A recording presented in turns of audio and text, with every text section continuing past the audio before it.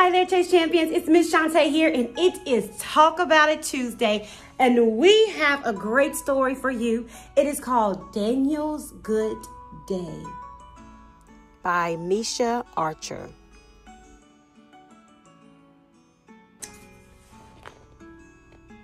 Daniel knows many people in his neighborhood.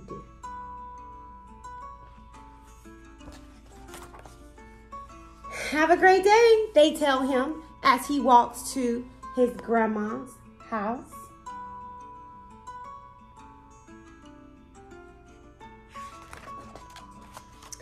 Excuse me, he says to Mrs. Sanchez, but what makes a good day for you?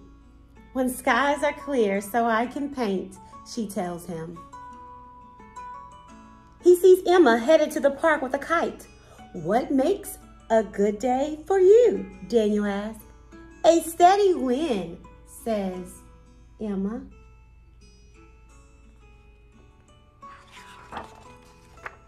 A day in the park with a bench in the shade, his neighbor tells him. A long nap for the babies, the nanny says.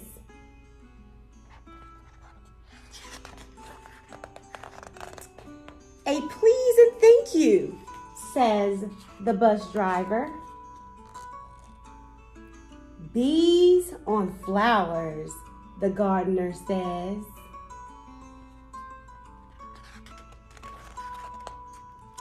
Birthday, says the baker. Wagging tails, the mail carrier says.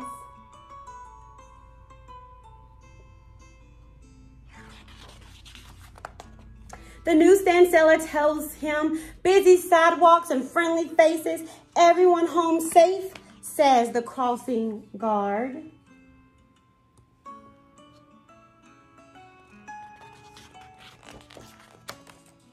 When Daniel gets to grandma's, she tells him a hug from you makes a good day.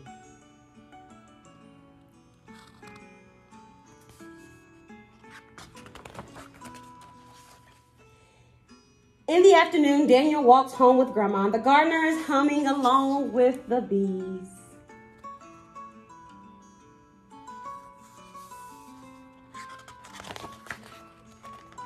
The baker and the bus driver are smiling.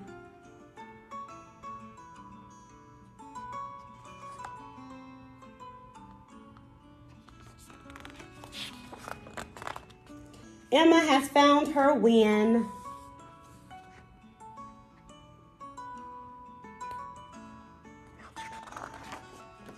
The babies are sleeping. The couple sits on a shady bench. Lots of people seem to be having a good day everywhere. At home, his mom asked, How was your day, Daniel?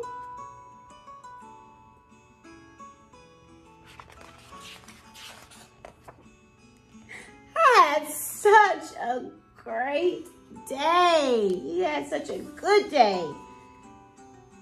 Hence the title, Daniel's Good Day. There was a clear sky, a steady wind, a shady bench, a long nap, but not for me. Please and thank yous, bees and flowers, but not a birthday picnic, wagging tails, busy sidewalks, friendly faces, hugs from grandma and from you.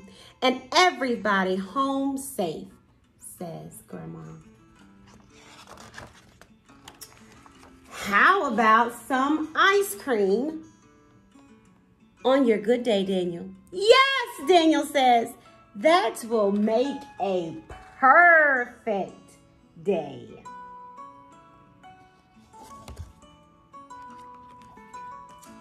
Daniel's Good Day. As always, Chase Champions, we hope that you've enjoyed and we hope that you are having a good day and you've had some good days so far this summer break. Good thing is, it's not over, so the goodness can continue. Until next time, Chase Champions.